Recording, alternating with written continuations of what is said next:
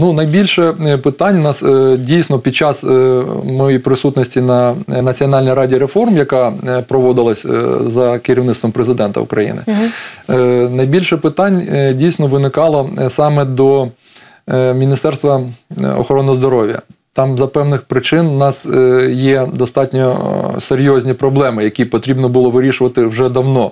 На сьогоднішній день ми знаємо, що і немає вакцинації, і дуже е, серйозні проблеми з забезпеченням хворих ліками.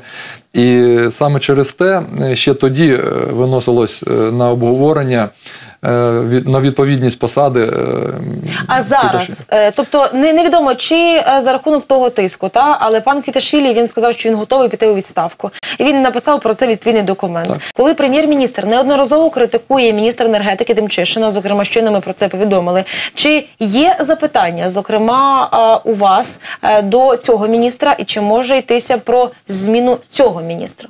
Ну, цілком можливо, тому що е, це не перше, взагалі, коли ми виклик- викликали е, е, міністрів на годину запитань до уряду.